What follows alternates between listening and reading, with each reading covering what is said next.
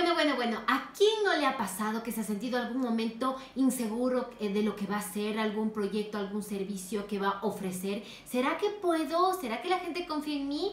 ¿Les ha pasado? Pues hoy vamos a hablar sobre el famoso síndrome del impostor, así que acompáñenme.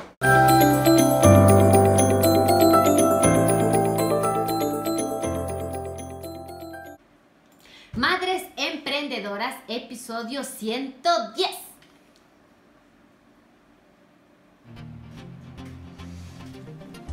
Hola, hola, ¿qué tal? Nuevamente bienvenidas al podcast, al programa de Madres Emprendedoras, el podcast en el que hablamos sobre el mundo del emprendimiento, ese apasionante marketing, las imprescindibles ventas para emprender y claro, cómo organizarse para salir victoriosas entre ser madres felices y mujeres emprendedoras exitosas a través de noticias, conocimientos y experiencias desde el punto de vista de mujer, claro está. Así que a todas bienvenidas. Y el día de hoy vamos a hablar, estamos viernes 22 de febrero, ya se acaba la semana, qué tan rápido que ha pasado. Pues espero que haya sido muy productiva que le hayan ponido, le han puesto, perdón, todo el ñeque. Y pues ahora vamos a hablar en nuestro segmento de madre versus emprendedora. Vamos a hablar sobre un tema muy interesante y es cuál es el síndrome del impostor al emprender. Y bueno, no sin antes dedicar el podcast a todas aquellas personas que les resulta difícil poner el precio a sus productos. Y esto va también de la mano con este síndrome. Así que a todas aquellas madres que se encuentran identificadas con este tema, de que de pronto eso pasa también al inicio, ¿no? No saben, bueno, qué, qué precio pongo a mis productos, a mis servicios, cómo lo hago, sobre todo en el tema de los servicios, porque de pronto en, el, en los productos es como mucho más fácil, ya tengo mi costo y sobre ahí trato de mantener mi margen. Pero bueno, ahí está dedicado el podcast para todas aquellas madres que se sientan identificadas con esto y claro, no sin antes invitarles, por supuesto, que visiten katiaman.com para que vayan, vean los cursos que estamos eh, desarrollando, voten por el curso que primero quieren que salga. Estos cursos son online, van a, van a salir siempre, eh, eh, cada semana van a haber nuevas clases y claro que sí, vamos a eh, enfocar todo este conocimiento eh, de manera más especializada, más técnica, para ayudar a todas las madres que quieran emprender y en general a todas las personas que quieran emprender. Y bueno, ahora sí, sin más y más, vamos a empezar. Vamos a ver el día de hoy cuál es ese síntoma y cómo nos afecta el síndrome del impostor. Así que sin más, vamos a empezar. Bueno, ¿qué es y cuáles son los síntomas? Pues eh, básicamente es un trastorno psicológico. Eh, ha pasado, 7 de cada 10 personas lo han vivido, lo hemos sufrido, yo también puedo decir, y todas las personas que somos emprendedoras, en alguna circunstancia podría habernos pasado esta situación. Eh, es ese tema de sentirse como, eh, como que estamos haciendo un fraude, como que...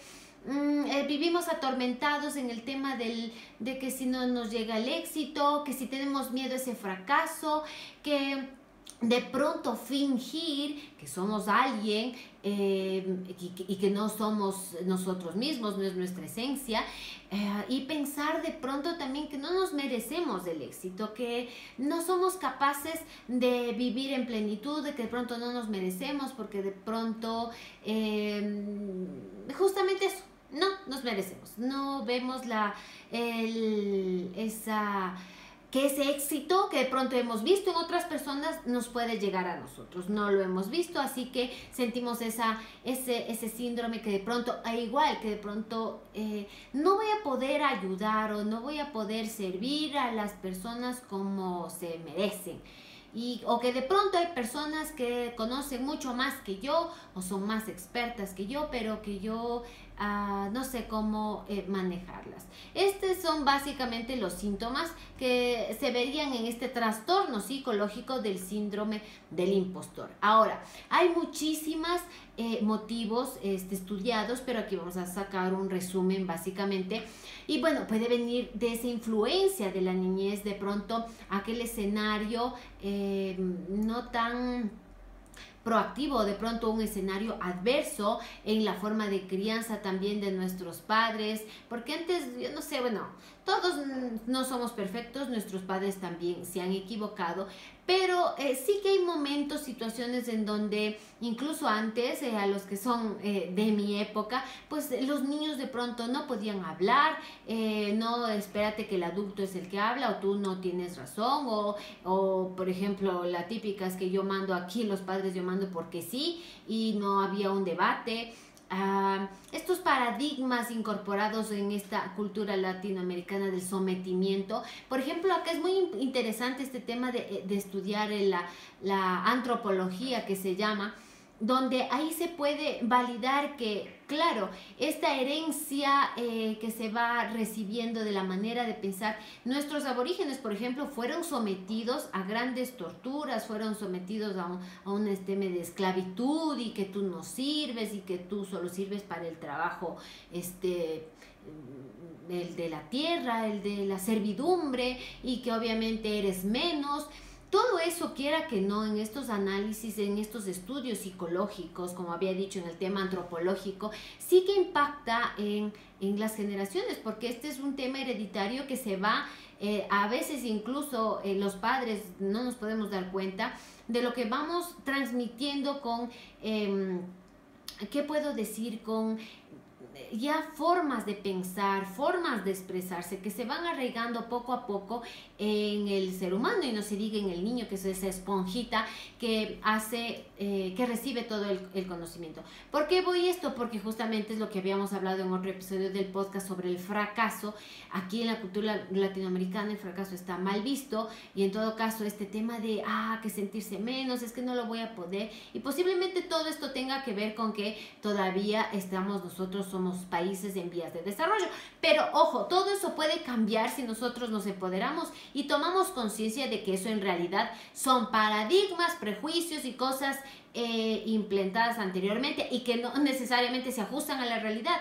Nosotros podemos generar, generar y crear cosas maravillosas. Ya lo hemos hablado en muchísimas ocasiones en el podcast, pero básicamente esos serían esos motivos de inseguridad, de mm, eh, justamente mantener una autoestima un poco más baja, que hace que eh, eh, tengamos ese diálogo interno que no nos aporte, que nos dice, bueno, es que mm, no vas a poder, tú no puedes, o hay mejores personas que ti, entonces tú para qué te vas a lanzar.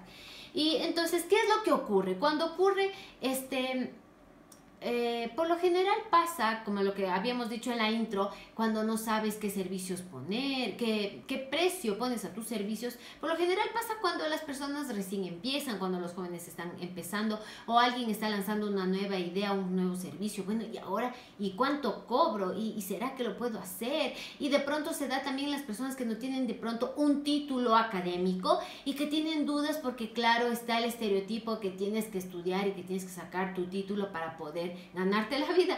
Bueno, esto también es otro paradigma erróneo. Muchísimos, ahí está Bill Gates, por ejemplo. Em, que sin haber estudiado eh, o tener un, título de tercer nivel completado, pero no hace falta eso para poder llegar al éxito, poder servir y crecer y ofrecer servicios, productos de calidad a tu gente, eso no, no aplica.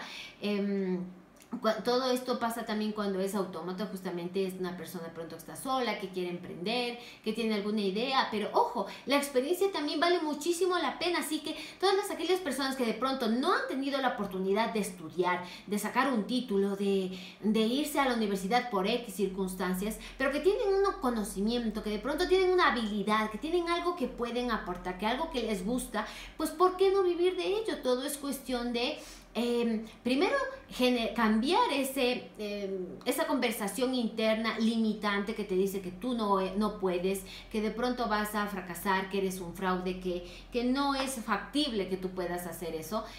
Pues sí, sí se puede cambiar esa, esa, esa, conversación interior y obviamente capacitarse en el tema. Bueno, ahora con el tema del Internet ya lo hemos visto, democratiza la información, ahí em, se puede eh, el objetivo es más bien que tú te plantees, ¿por qué yo no estudiar? ¿Por qué no ver ahorita em, todo esto que me está faltando para poder vivir de mis conocimientos, de mis, de mis, estudios? Ya habíamos visto este miércoles, hablamos sobre los infoproductos y cómo tú puedes vivir de ello.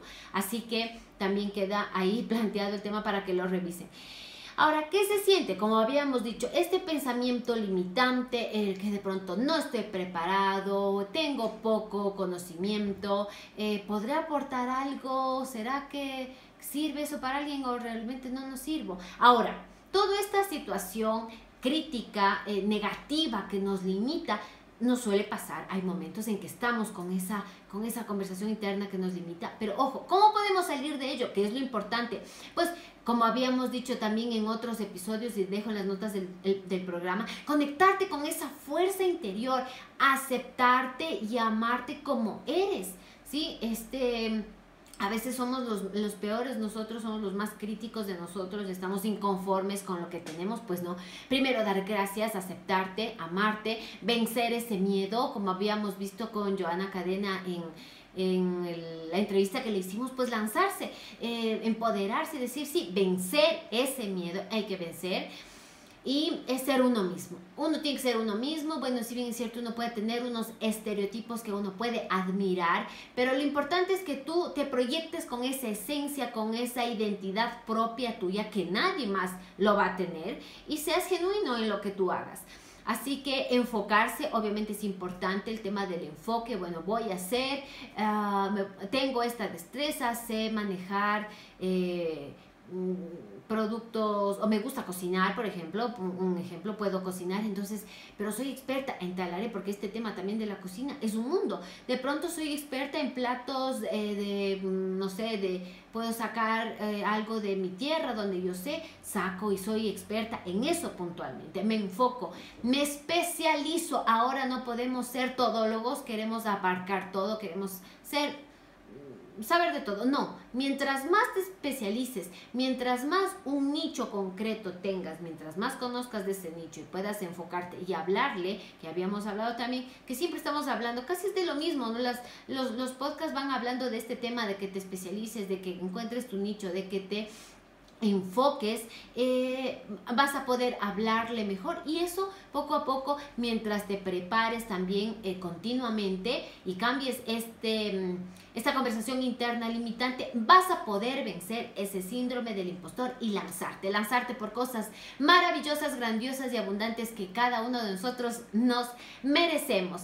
Bueno, hasta aquí el episodio de hoy, espero que haya sido de su agrado. Em, no me queda más que agradecerles por estar ahí siempre al otro lado, por escuchar el podcast en las diferentes plataformas, en Spotify, en Google Podcast, en iBox, en iTunes, por sus valoraciones de 5 estrellas. Eh, gracias por compartir también el contenido a otras madres que les puede servir, por seguirme en YouTube, por unirse al Meetup de Madres que Emprenden desde casa en Quito con este evento que les vamos a esperar este jueves 28 de febrero eh, a las 18 horas y 30 y dejo los enlaces eh, para mayor información en las notas del programa porque vamos a hablar sobre un tema interesante para evaluar ideas de negocio, nuevos proyectos que tengamos en la mente. Y bueno, gracias también por estar ahí siempre, por eh, sus comentarios buenos, me ayudan muchísimo, por votar, recuerden votar por el en cateman.com por los cursos online. Y, y, recuerden, es viernes y el cuerpo lo sabe, así que a descansar, a cambiar de rutina, a ser más creativos, a, pasar con sus familias. Y nos vemos el lunes con otro episodio del podcast en eh, un segmento de emprendimiento. Así que nos vemos, buen fin de semana.